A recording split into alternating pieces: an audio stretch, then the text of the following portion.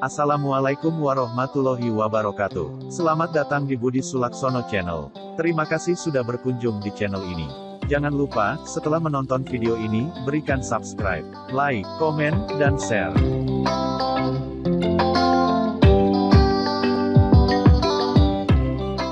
Sahabat Budi Sulaksono Channel, kali ini, kita akan berbagi bagaimana cara membuat header atau cop untuk Google Form yang mudah dan cepat dengan Canva. Langsung saja, caranya sebagai berikut. Kita masuk ke browser, ketikkan canva.com. Setelah halaman Canva terbuka, kita lakukan login. Masukkan akun kita. Klik continue. Masukkan password. Klik login.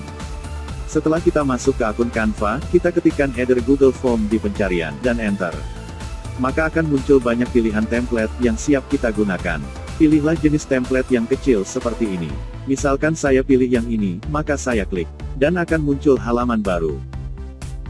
Selanjutnya kita lakukan pengeditan sesuai kebutuhan. Untuk menghapus atau menghilangkan elemen yang tidak kita butuhkan, klik elemen atau objek kemudian klik del pada laptop atau PC kita. Untuk menambahkan elemen atau objek yang disediakan oleh Canva, kita pilih menu elemen, kemudian ketikkan kata kunci di pencarian. Sesuaikan dengan apa yang akan kita cari. Atau kita bisa menambahkan elemen dari perangkat kita, caranya klik menu unggah. Klik menu unggah media.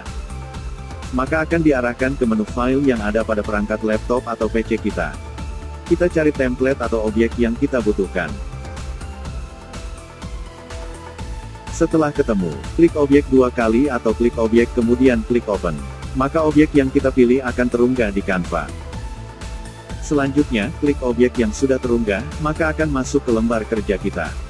Kemudian kita atur ukuran dan penempatan sesuai kebutuhan.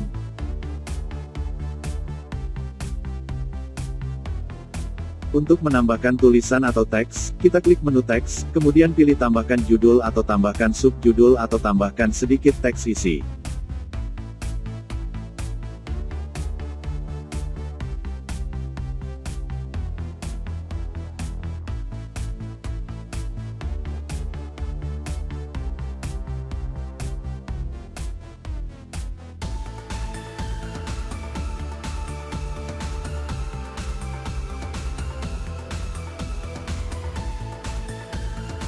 Jika desain kita dirasa sudah cukup, maka klik menu bagikan.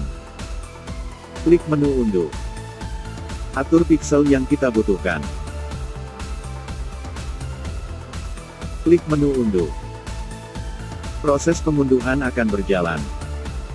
Sahabat Budi Sulaksono Channel, setelah proses pengunduhan selesai, maka langkah selanjutnya adalah memasangnya ke Google Form.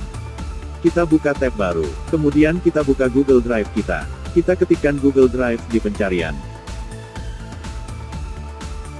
Pilih Sign in Google Drive atau Login Google Drive.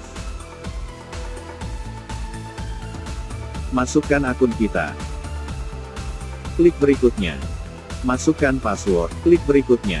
Maka akan terbuka akun Google Drive kita. Untuk membuat Google Form baru, klik tanda plus new. Pilih Google Form, maka akan terbuka halaman baru Google Form. Selanjutnya pilih menu gambar palet di pojok kanan atas. Pilih Choose Image. Klik Upload.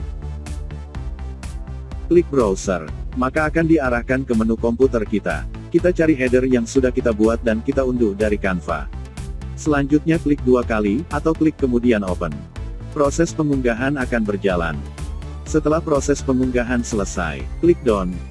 Maka, header Google Form kita akan terpasang.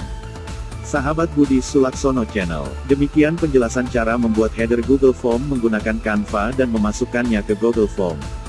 Mudah bukan? Semoga bermanfaat. Jangan lupa subscribe. Bunyikan loncengnya. Like, komen, dan share. Sahabat Budi Sulaksono Channel, sampai jumpa di video berikutnya. Wassalamualaikum warahmatullahi wabarakatuh.